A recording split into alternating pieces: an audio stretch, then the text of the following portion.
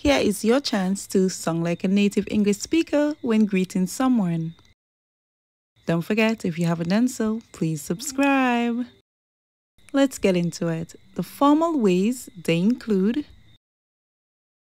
Hello.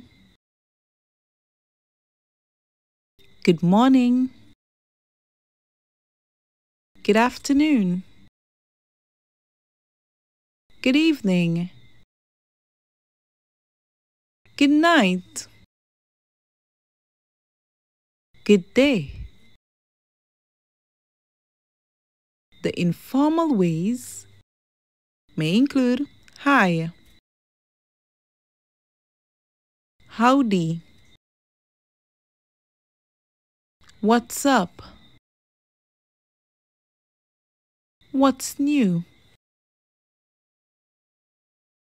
a. Go ahead, pause and repeat the video to practice. Thank you for watching.